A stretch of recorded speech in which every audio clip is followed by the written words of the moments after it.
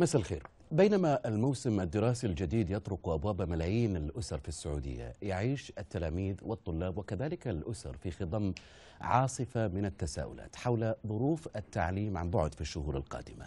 هل سيمتد آه، هذا الشكل من التعليم الآن آه، في المدارس والجامعات حتى نهاية العام؟ أم ستعود الدراسة حضوريا بعد انتهاء السبعة أسابيع التي أعلنت عنها وزارة التعليم؟ ماذا أيضا عن البدائل التي سيتم اتخاذها حتى تطمئن كل أسرة على أبنائها من الطلاب والتلاميذ؟ الدكتور حمد بن محمد آل الشيخ وزير التعليم السعودي في سؤال مباشر. مع الوزير مرحبا حياك الله معنا في سؤال مباشر. آه شكرا لتلبية دعوة البرنامج وكل عام وأنت بخير أولا. كل عام وأنتم بخير واهلا وسهلا بكم أستاذ خالد. أه سعيد بوجودي معكم. قررت وزارة التعليم أن يكون التعليم في هذا العام عن بعد والجامعات في التخصصات النظرية لمدة سبعة أسابيع بسبب جائحة كورونا. سؤالي لك كيف تم اتخاذ القرار؟ ما الذي جرى في كواليس الاجتماعات طبعا القرار هو تكاملي وتشاركي ما بين الجهات المعنية وفق طبعا اهتمام القيادة حفظها الله بسلامة وصحة جميع منسوبي قطاع التعليم سواء من طلبة أو معلمين أو أعضاء هيئة التدريس أو إداريين أو مدربين. والخيار الأساسي أو الأولوية الأولى هي لسلامة وصحة وتقليص مخاطر التعرض لأية عدوى لا قدر الله. وفي نفس الوقت تحقيق الأهداف التعليمية.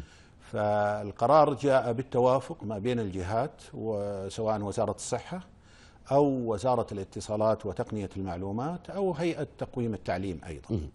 ويعني كل, كل الأجهزة يكمل بعضها البعض في هذا المجال من أجل الوصول إلى قرار يتوازن بين الأولويات ويحقق المصلحة لجميع شرائح المجتمع. الآن تم اتخاذ القرار قرار التعليم عن بعد لكن هل لك أن تطلعنا على السيناريوهات اللي تم مناقشتها خلال فترة الاجتماعات؟ وسؤال آخر أيضا أنه الناس أيضا تسأل ليش تأخرتم في إقرار التعليم عن بعد؟ أخذتم وقت طويل أظن يعني قبل بداية الدراسة بأسبوعين إلى ثلاثة أسابيع. هو ما دام أنه اتخذ قبل الدراسة فهذا هو الأهم. لكن إحنا عدينا دراساتنا منذ نهاية الفصل السابق. وبدأنا بعمل سيناريوهات للمدارس في النطاق الأخضر وفي النطاق البرتقالي وفي النطاق الأحمر. والمدارس تعتمد عملية ووضعنا نماذج تشغيلية مختلفة لها. وفقا للإجراءات الاحترازية وتم وضع قواعد ووضعت أدلة استرشادية هذا بالنسبة للمدارس. بالنسبة للجامعات نفس الشيء أيضا. أعطيت أدلة استرشادية وهي تستطيع أنها تفصل ما تريده في في الجوانب التطبيقية أو في الجوانب النظرية. بالنسبة للتعليم العام كانت عندنا يعني قضية أن المدارس تختلف بحسب حجم الفصول. مدرسة في قرية مدرسة في ضاحية بحسب الكثافة في الفصل أيضا. فأنت لا تستطيع أنك تسوي مثلا فترتين في الدراسة إلا إذا كانت عندك يعني مثلا ضوابط معينة ويبغى لها ترتيب أيضا بالنسبة للمعلمين. كل هذه طبعا تم وضع الخطط لها وكل شيء. ثم بعد ذلك بالتنسيق مع وزارة الصحة في البداية. ثم بعد ذلك بالتنسيق مع الجهات اللي تتعلق بالوزارات الأخرى مثل وزارة الاتصالات. لأنه صحيح إحنا حطينا السيناريوهات بالنسبة م. للنطاق الأخضر والبرتقالي لكن النطاق الأحمر أيضا يضع إنه جميع الدراسة تكون في عن بعد. فمعنى ذلك يجب أن يكون عندي خيارات متعددة للشخص للطالب نفسه أنه يصله البث في كل نقطة في أنحاء المملكة وبعض المناطق قد لا يكون عند الطالب جهاز أو قد طيب. لا يكون عند الطالب تغطية الاتصال بالإنترنت طيب، هذه حنفصل ذلك فيها أن الوزير. أصله بطريقة أخرى حنفصل فيها آه، آه، لكن ودي أسألك تفضل. عن تعرف إن وزير الصحة في حلقتنا السابقة من سؤال مباشر قال بأن الوزارة ستدرس الوضع بعد سبعة أسابيع وبناء عليه سيتم إقرار إكمال الدراسة عن بعد أو حضوريا. سؤالي من الجهة المسؤولة التي تقرر العودة من عدمها الآن؟ وزارة الصحة ولا وزارة التعليم؟ لا الجميع مسؤول لأنه المسؤولية تكاملية وتضامنية بين الجهات الحكومية المعنية بذلك، أنا ما أست... لا تستطيع وزارة التعليم أن تتخذ قرار قد يضر بالصحة العامة، ولا تستطيع وزارة الصحة أيضا أن تنفرد آه، بقرار أيضا. هو قرار توافقي ونحن نعمل مع بعض. آه، أنا ومعالي وزير الصحة ومعالي وزير الاتصالات وتقنية المعلومات ومعالي أيضا آه، رئيس آه، هيئة تقويم التعليم بما يحقق تطلعات وأهداف آه، وصول التعليم وأيضا المحافظة على السلامة والصحة بالنسبة للطلاب. والمعنيين أو آه، أعضاء هيئة التدريس. الآن بالنسبة للجامعات مراعاة الفروق أيضا في المرحلة العمرية. في طلاب عندهم مستوى المسؤولية ويستطيع إنه يطبق الإجراءات الاحترازية. صحيح. وفي لا مرحلة عمرية قد لا تستطيع أن تتحكم فيه آه، بالشكل الكافي. فالقرار آه، مشترك وبما يحقق آه، المسؤولية وجميع الجهات آه، التي ذكرت. وإن كان أيضا غيرهم أيضا مسؤول تضامنيا من أجل إنجاح آه، هذا القرار والوصول به إلى ما يحقق آه، تطلعات وأهداف القيادة وفي نفس الوقت يحقق المصلحة العامة. طيب التقييم حيك- حيكون بعد سبع أسابيع من بداية الدراسة، ليش تم اعتماد هذا العدد من الأسابيع؟ والله هذا بطلب طبعا من وزارة الصحة إنه اولا هناك آه، آه، في آه، اكتوبر آه، في قبل أكتوبر تبدأ حالة الإنفلونزا الشتوية. ومعنى ذلك انتشارها يؤدي إلى شك في وجود الشخص إنه عنده أيضا آه، لا لا قدر الله أنه أصيب بالفيروس. وفي نفس الوقت أيضا للنظر إلى آه، آه، الابتعاد عما يسمى بالموجة الثانية من الجائحة. آه، والسبع أسابيع كفيلة أيضا بأن تعطينا آه، بعد عن آه، النور في نهاية النفق إن صح التعبير. وإن كان إلى الآن لا يستطيع أحد أن يجزم حقيقة بأين ما هي مسافة النور في نهاية النفق مما نحن واقفين أمامه؟ ولا أي شخص في العالم بكل صراحة. فإحنا نتكلم نتك- نتحدث ونتكلم عن حالة استثنائية في العالم كله.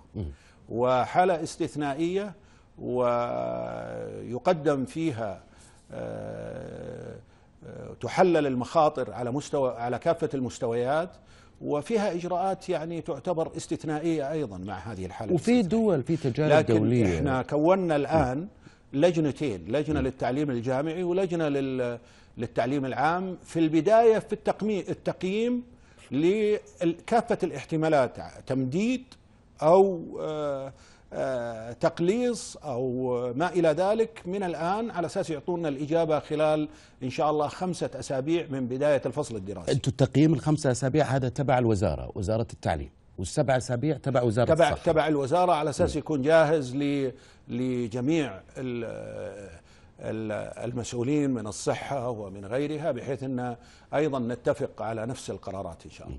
وزير الصحة في اللقاء قال بأنه لن تكون هناك عودة للدراسة آه، آه، إلا بتوفر اللقاح فبالتالي سيمتد الموضوع يعني حتى لو صار تقييم بعدم وجود لقاح سيكون سبب في استمرار التعليم عن بعد بهذا الشكل هو هنا يمكن الموضوع أول شيء توفر اللقاح، الشيء الثاني آه، إعطاء اللقاح لمثلا الطلاب والمعلمين وجميع من آه، هم في البيئة المدرسية آه، آه، هذا شيء منفصل. لكن إحنا عندنا أيضا حالة إذا كان هنالك انخفاض آه، في مستوى التعرض في آه، تعدي لمرحلة الإنفلونزا الشتوية آه، تقلل من المخاطر كل هذه الأشياء. على أي حال لا يمكن آه، آه، حجز أو آه، خلينا نقول ربط القرار آه، بشيء يعتبر آه، مجهول. إحنا لابد أن نتكيف وخلينا نقول نتعايش. مع الوضع الجديد ونقدر المخاطر المستقبلية التي يمكن أن يتعرض لها المجتمع أو يتعرض لها ابنائنا الطلاب وجميع ال- الهيئة التدريسية في مختلف البيئات. ونقدر ذلك وبعد ذلك نجلس ونناقش الموضوع وهو مرتبط بتقييم يعني مشترك ما بيننا وما بين آه، الشركاء اللي حددوا وهي وزارة الصحة وزارة الاتصالات وتقنية المعلومات وأيضا هيئة تقويم التعليم وإن شاء الله يعني نخرج بما فيه آه، ما يحقق المصلحة إن شاء الله. اليوم في تجارب أيضا لبعض الدول ودول شقيقة يعني على سبيل المثال الأردن أنت تعلم مثلا بانه مدرسة آه، أغلقت بسبب حالة واحدة لطفل كانت مصاب أو معلم وتم نقل العدوى إلى إلى كل المدرسة تقريبا وبالتالي حتى الآن يتم التفكير في إعادة النظر في مسألة التعليم الحضوري واعتماد التعليم عن آه، بعد وكأنه هو الخيار الأنسب اليوم في هذه المرحلة من الجائحة. خليني أسألك آه، عن الآلية المعتمدة الآن للتعليم عن بعد. يعني هو آه، ممكن نسميها إنه مدرستي في بيتي بهذا الشكل. بدل ما الطالب يكون في المدرسة سيتم العمل بنفس الشكل ولكن من البيت. أليس كذلك؟ صحيح. كل مدرسة الآن يفتح مدرسة مناظرة لها آه، عن بعد.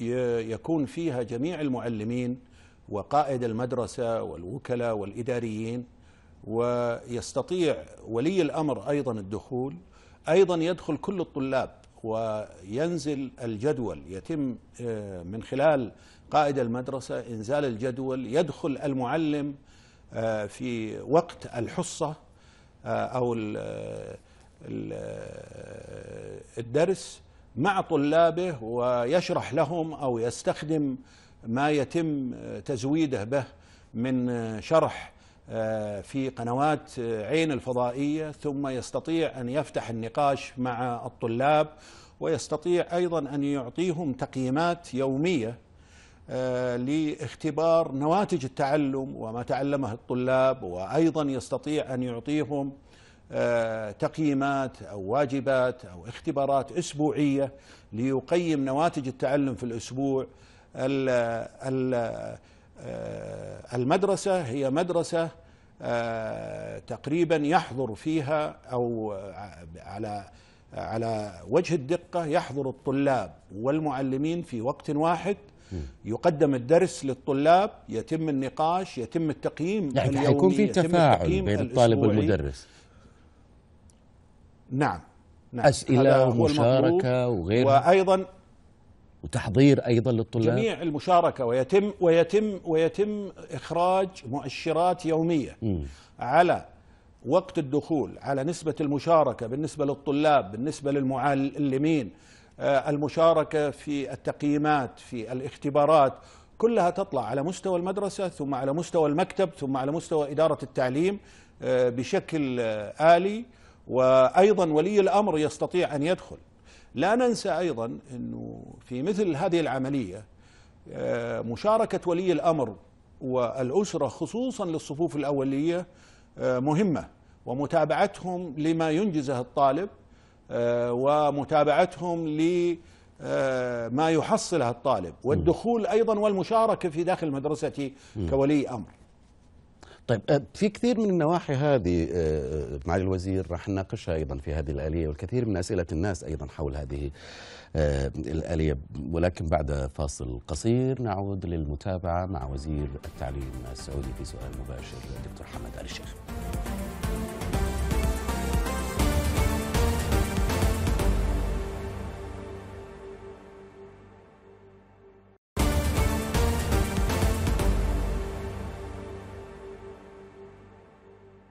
أهلا بكم من جديد في سؤال مباشر. ضيفي هو آه، وزير التعليم السعودي الدكتور حمد آل الشيخ. آه، دكتور حمد مرحبا بك معي من جديد.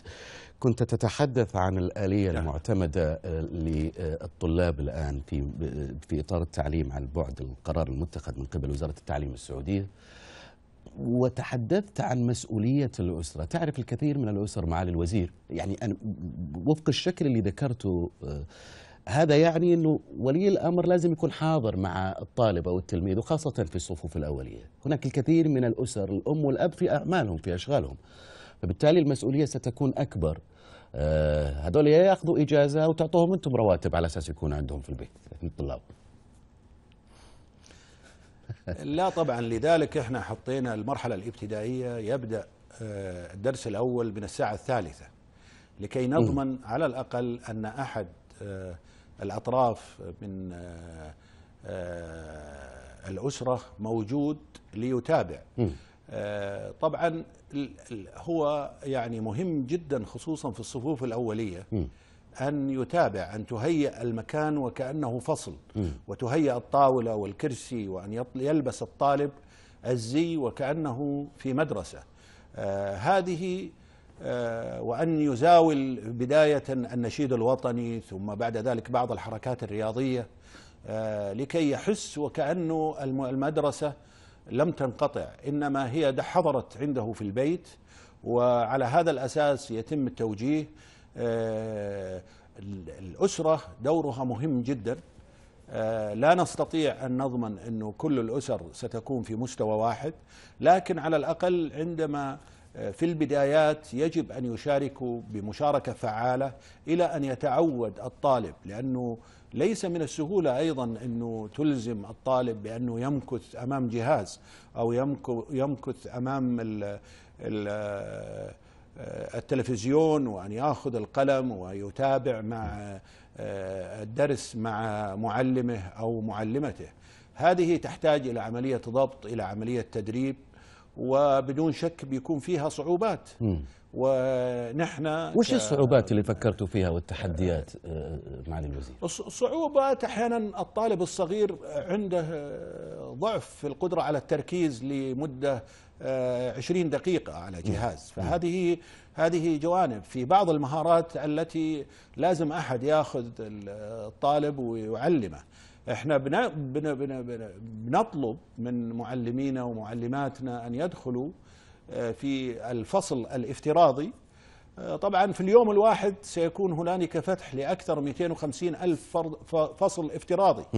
كل فصل افتراضي يدخل فيه المعلم أو المعلمة مع طلابهم ويشرحون لهم. في بعض الجوانب أحيانا اللي في الفصل الحقيقي تتطلب من المعلم أو المعلمة أن يدور بين طلابه وأن يطالع كتابته وخطه وإملائه وأن يصحح له. صحيح. هذه لا تتهيأ. هنا يجب أن يكون من الأسرة من الأب من الأم من الأخ الكبير من الأخت الكبيرة.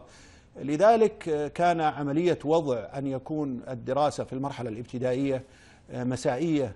أكثر. أيضا وضعنا طال عمرك أنه المدرسة سيحضر المعلمون فيها يوم لكي يراجعوا مع الطلاب أو مع أولياء أمورهم اللي هم بحاجة للمراجعة. يسلموا التكليفات أيضا اللي كلفوا بها. إذا لم يتم تسليمها الكترونيا يسلموها ورقيا.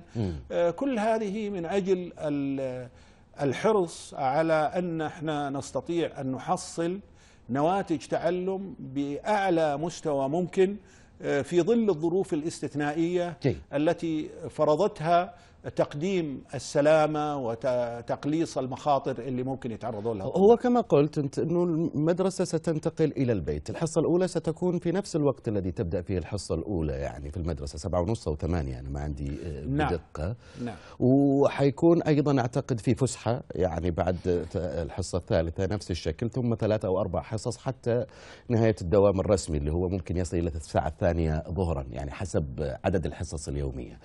آه، الآن سيكون دخول المنصة إلزامي على كل الطلاب مع الوزير بهذا الشكل. سيكون إلزامي مم. على كل الطلاب على كل المعلمين على كل الهيئة التدريسية اللي في المدرسة جيد. آه، بدون شك لكن قد يكون هناك طالب آه، لا يستطيع الدخول لوجود آه، لعدم وجود تغطية مثلا في المنطقة هناك بعض المناطق التي قد صحيح. لا يكون فيها تغطية صحيح.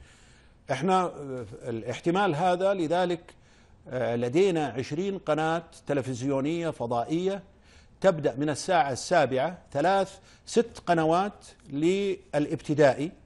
كل قناة لصف. تبدأ بالدرس الأول تبدأ أساسا بالنشيد الوطني ثم بعد ذلك آه، حصة تربية بدنية ثم بعد ذلك الحصة الأولى إلى نهاية الحصص. ثم تبدأ تعيد بثها إلى يوم الغد. فأيضا الذي لا يوجد لديه آه، قدرة أو متابعة أو ما إلى ذلك يستطيع أن يبدأ أيضا أو يأتي في وقت لاحق وينظر إلى الإعادات. أيضا هذه الدروس شلون بتقيمونهم؟ يتم وضعها؟ في في وأرشفتها آه، في قنوات اليوتيوب لايضا الطلاب الذي فاته حصة أو فاته درس ويريد الرجوع له في وقت لاحق أو ولي أمره. يريد أيضا أن يراجعه مع ابنه أو مع ابنته فيستطيع الذهاب إلى آه، هذه الدروس إذا لم يستطع الذهاب آه، يعني قنوات آه، إلى إلى إلى نفس مدرستي بذاتها. طيب أنتم حتى المدرس حيقيم الطالب في في عن بعد إذا كان لديه جهاز. هو هو الآن ما يشترط لابتوب يعني ممكن الطالب يدخل من من الجوال آه، فبالتالي في بعض الأسر الله يعينها صحيح. حتكون مضطرة لأنها تشتري لطلابها جوالات. وفي أسر أنت تعرف إنه ما هي مقتدرة ما هي قادرة على هذا الموضوع إذا ما توفر لها آه، آه، لابتوبس. تقريبا نسبة النسبة كبيرة جدا اللي يوجد عندهم آه، أجهزة ذكية بمعنى جوالات ذكية ويستطيع الدخول آه، من آه، من أي جهاز حقيقة ذكي جوال أبوه جوال أمه جوال أخته جوال و واللي ما يقدر واللي ما عنده إحنا ما نحبذ الجوال الوزير. إحنا نحبذ أن يكون جهاز أكبر من الجوال جيد. ويكون الشاشة يعني واضحة للطالب لكن أيضا الطلاب الذين لا يوجد لديهم القدرة المادية وهم طلاب يعني آه، قد آه، يحتاجون إلى مساعدة. مؤسسة تكافل أيضا هي ستقوم بتوزيع آه، بعض الأجهزة للطلاب الموجودين في قوائمها اللي يعتبرون من يعني قدرتهم المادية أقل من قدرة زملائهم من أجل أنه ينفذون في مبادرة أيضا من آه، وزارة الموارد البشرية والتنمية ال- الاجتماعية في قضية آه، توفير أيضا للطلاب الذين أسرهم آه، ضمانيين. آه، أيضا اللي ما يستطيع لا من هنا ولا من هنا عندنا البث التلفزيوني آه،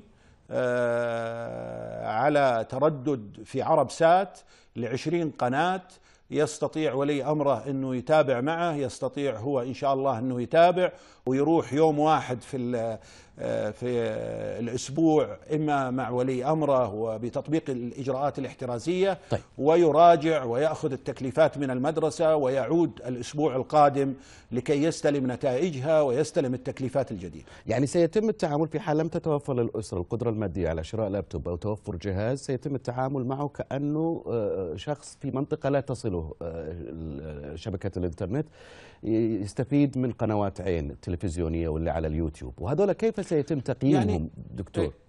ب- بالحضور بعد ذلك؟ هذول سيتم تقييمهم اسبوعيا يأتي إلى المدرسة في يوم واحد أي. وبتطبيق الإجراءات الاحترازية جيد. ويأخذ التكليفات الأسبوعية ويسلم تكليفات الأسبوع الماضي. لكن ليس هذا على الجميع. أيضا هناك من الطلاب الذين سيوفر لهم جهاز. آه، إذا كانوا من الطلاب المسجلين في مؤسسة آه، تكافل. أيضا عندنا أعتقد مبادرات مع آه، مؤسسات المجتمعية في قضية توفير بعض الأجهزة للطلاب الذين يحتاجون جيد. لها. معالي الوزير اسمح لي أنت تعرف إنه في إشكالية حصلت في الفترة الماضية من ناحية تقنية عندما في فترة الاختبار التحصيلي الصفحة ما تفتح النت يعلق الشبكة يعلق تعلق مسألة الغش وفي جدل كثير دار حول- هذا الموضوع. اليوم كيف نضمن أن تسير العملية التعليمية في ضوء القرار المتخذ عن بعد بشكل سلس بدون أي مشاكل أو انقطاعات؟ دعني أقول لك إنه لا يستطيع أحد أن يضمن لك إنه الأمور بتسير بشيء بشكل سلس، اولا إحنا يختلف الاختبار عن قضية آه، التعليم، الاختبار محدد بوقت واحد. إذا ضاعت دقيقة واحدة لا يمكن إنك تضيعها أو ثلاث دقائق أو انقطع ال ال. الإنترنت عن الطالب. هنا في المدرسة لا عندك مسائل عندك بدائل كثيرة لعملية التعويض. عندك آه، آه، مدى زمني لعملية المراجعة والتقييم للطالب تقييم نواتج التعلم في اختبارات آه، حتكون؟ تقديم آه، خلينا نقول م- مواد علاجية واثرائيه للطالب أو للطالبة. في اختبارات حتكون؟ إن شاء الله في اختبارات لابد أن يكون هناك اختبارات. في تقييمات أسبوعية.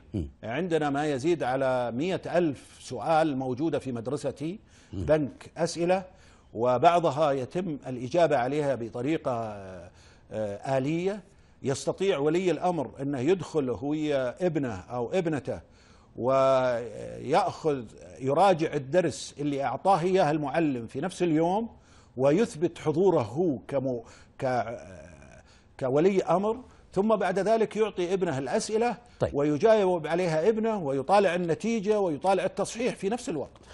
تعلم بأنه بعد إعلان الوزارة بدأ الحديث والجدل حول المدارس الأهلية ورسوم المدارس الأهلية. وتطور الحديث مطالبات بتخفيض آه، آه، هذه الرسوم. الحديث تطور إلى أنه كثير من الأسر حولت طلابها أو أبنائها من المدارس الأهلية إلى آه، مدارس التعليم الحكومي بسبب اتخاذ قرار التعليم عن بعد. موقف الوزارة من هذا الموضوع ما هو؟ هل ما هو؟ وهل هناك ضغط اليوم؟ يمكن القول بأنه في عدد كبير من الأسر الآن توجهت إلى التعليم الحكومي آه، بسبب هذه بسبب هذا القرار. آه، أول شيء إحنا نشجع المدارس الأهلية على أنها آه، تقوم بدورها آه، ومسؤوليتها الاجتماعية آه، في تقديم ما يمكن تقديمه. وعندنا ما يزيد على 2000 شركة الآن أو آه، مدرسة أهلية إما قدمت تخفيضات للفصل الأول أو قدمت تخفيضات للفصلين بل بعضها قدمت دراسة في الفصل الأول بالكامل مجانية للطلاب. فنحن نشجعهم. يمكن آه، بقي بعض المدارس ننتظر منها إن شاء الله إنها أيضا آه، تقوم بواجبها نحو آه، الطلاب والطالبات والأسر لأنه في نهاية المطاف إذا انتقلوا هم أيضا سيخسرون طلاب مسجلين لديهم وأيضا آه، سيكون هذا رده إيجابي من المجتمع وأنا في توقعي إن الجميع إن شاء الله آه، سيتجاوب وسيقدم آه، مبادراته فيما يتعلق آه، بالتخفيض ويظل العلاقة ما بين الجميع هي علاقة تشاركية ومسؤولية اجتماعية أيضا في ظل ظروف استثنائية. خططكم المستقبلية سم؟ لهذا الشأن أقول استشراقكم للمستقبل أو خططكم المستقبلية للتعامل مع هذا الوضع في أقل من نصف دقيقة ما عليك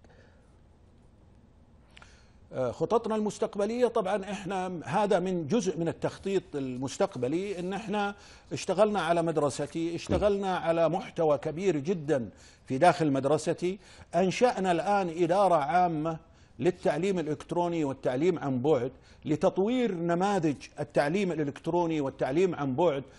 في مستقبل الأيام إن شاء الله عندما تنجلي هذه الجائحة لأنواع تطبيقها في المدارس الصغيرة في المدارس النائية بحيث إنه يصبح التطبيق مرن ونستغله آه، بكل أنواع الاستفادة بما يعود بالجوانب الإيجابية على التعليم وعلى المملكة العربية السعودية. وزير التعليم السعودي الدكتور حمد محمد آل الشيخ آه، شكرا جزيلا لك على تواجدك معنا شكرا لك حياك الله. نهاية هذه الحلقة مشاهدينا من سؤال مباشر ألقاكم في الأسبوع القادم. السلام عليكم.